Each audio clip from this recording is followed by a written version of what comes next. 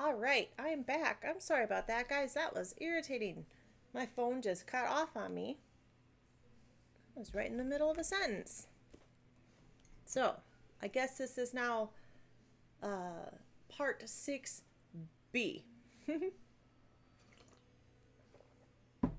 of Sara Crewe or What Happened at Miss Minchin's by Frances Hodgson Burnett. Okay? Let's see, can you hear me? There, remove that. Okie dokie. Let's see here. Hmm.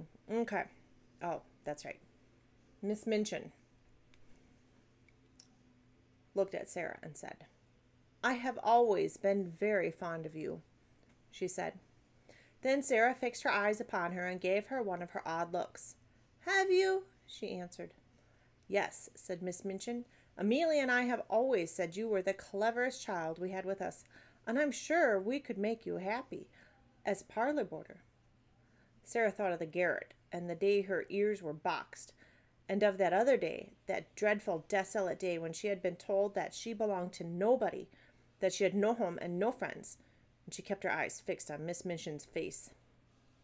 You know why I would not stay with you, she said and it seems probable that Miss Minchin did, for after that simple answer, she had not the boldness to pursue the subject. She merely sent in a bill for the expense of Sara's education and support, and she made it quite large enough. And because Mr. Carrisford thought Sara would wish it paid, it was paid. When Mr. Carmichael paid it, he had a brief interview with Miss Minchin in which he expressed his opinion with much clearness and force and it is quite certain that Miss Minchin did not enjoy the conversation. Sara had been about a month with Mr. Carrisford and had begun to realize that her happiness was not a dream. When one night the Indian gentleman saw that she sat a long time with her cheek in her hand, looking at the fire. What are you supposing, Sara? he asked. Sara looked up with bright color in her cheeks. I was supposing, she said. I was remembering that hungry day and a child I saw. But there were a great many hungry days, said the Indian gentleman in a rather sad tone of voice. Which hungry day was it? I forgot. You didn't know. It was the day I found the things in my garret. And then she told him the story of the bun shop, and the fourpence, and the child who was hungrier than herself. And somehow, as she told it, though she told it very simply indeed, the Indian gentleman found it necessary to shade his eyes with his hand and look down at the floor. And I was supposing a kind of plan, said Sara. When she had finished, I was thinking I would like to do something. What is it? said her guardian in a low tone. You may do anything you like to do, princess. I was wondering, said Sara. You know, you say I have a great deal of money, and I was wondering if I could go and see the bun woman and tell her that if, when hungry children, particularly those on dreadful days, come and sit on the steps or looking at the window, she would just call them in and give them something to eat. She might send the bills to me, and I would pay them. Can I do that? You can do it tomorrow morning, said the Indian gentleman. Oh, thank you, said Sara.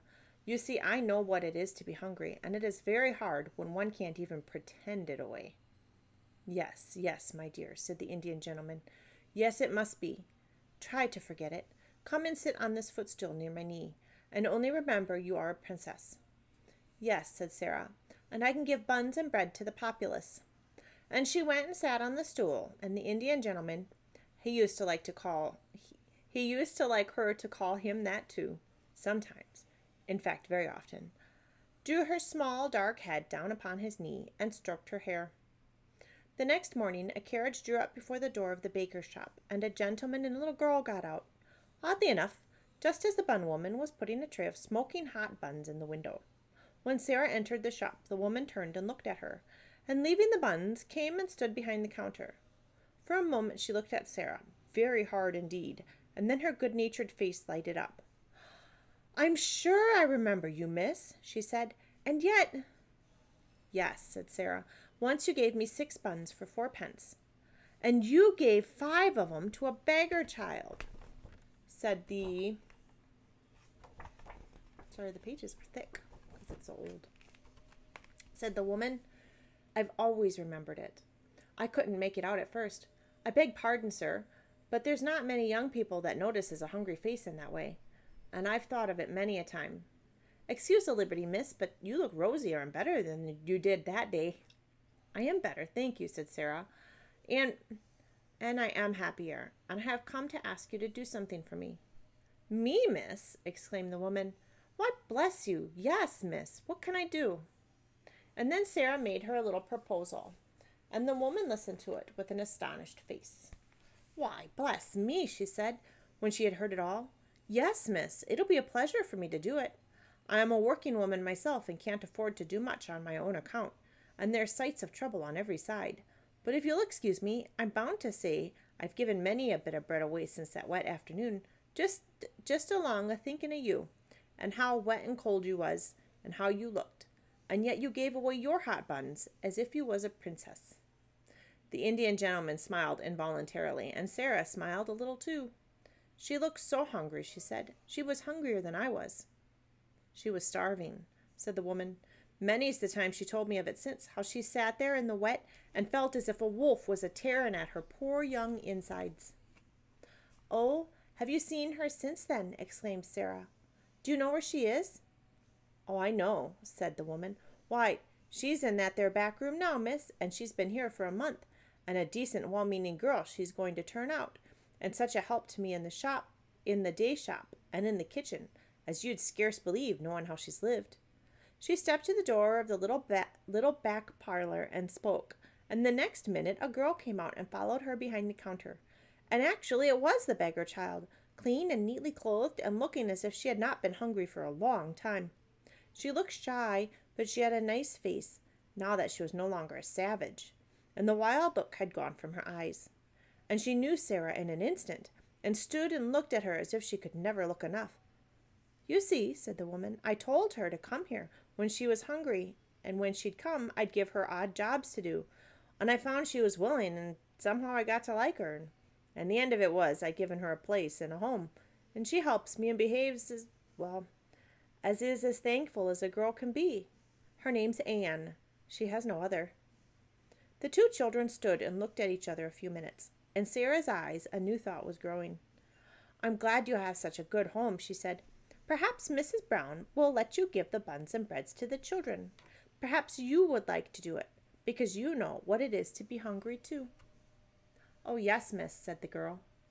And somehow Sara felt as if she understood her, though the girl said nothing more, and only stood still and looked, and looked after her as she went out of the shop, and got into the carriage, and drove away. The end.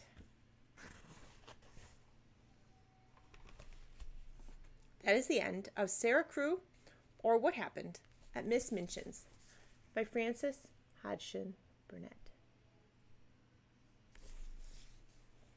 Thought you might get kind of a kick out of what is actually at the end of this book. It's got Scribner's Books for the Young and it's ads. That's kind of cool. Scribner's Books for the Young, personally conducted by Frank R. Stockton. Two dollars. It's got things like that.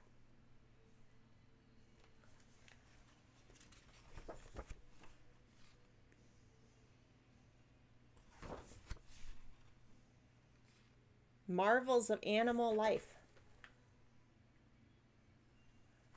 Huh. It's kind of a look into the past. Well, my goodness, the whole back end is filled with them. All right. Well, anyway, that was Sara Crewe, What Happened at Miss Minchin's by Frances Hodgson Burnett. I hope that you enjoyed reading it along with me. Um, I grew up loving The Little Princess. It was by far one of my favorite stories. And um, when I saw this in half priced books, because this is actually where I picked it up was half priced books, um, I was uh, confused. I was wondering, is this a new story that I had never heard of? Um, was there more than one Little Princess book? Was it a series or, you know? And so that kind of led me on a little bit of uh, exploration uh, to learn more about Frances Hodgson Burnett and the Little Princess. Um, and that's when I found out how this was kind of like phase two of her story process uh, with, you know, first putting the stories out into the periodicals and then writing this and then, you know, getting a feel for it and fleshing it out and seeing what worked and what didn't work. Um, you'll notice if you're familiar with Little Princess, which I, I, I hope so. Anyway, there were some differences um, between the Little Princess and this, so it's kind of interesting to see the direction that she went with things. Um, I know in the Little Princess, her father is actually alive. He actually was. Um, he, he came back and and she saw him. Uh, I think across the street at the the large house or the large family house or it was something like that. She saw him. I remember and um, you know so it was it was a nice little take on the story. And this one, she didn't find her father, but she did still find a family. So I hope you enjoyed it as much as I did. I had a lot of fun reading it. I know it was kind of uh, laid out and formulated a little bit funny, trying to figure out how I was going to record and, and, and, whatnot. And so, um, you know, if you have any suggestions or anything, just let me know. And I think the next book that I'm going to read is going to be, let me grab it real quick here, run over to my bookshelf. It is going to be Black Beauty, actually. Black Beauty. I have this really awesome little addiction edition. Black Beauty. Um, and it is by Anna Sewell. Sewell? So, from, what's the date? Oh, I have no idea. It doesn't say in here. I'm sure it'll say it somewhere. I'll find it before I start reading it. But I'll have to be careful reading it because it's falling apart. This feels like, well, this is very old. I can tell you that. So anyway, that's the next one I'm going to be reading is Black Beauty. All right. So thank you. I'll wrap this up. Thank you for for listening and hanging out with me, and um, I'll see you next time. Bye.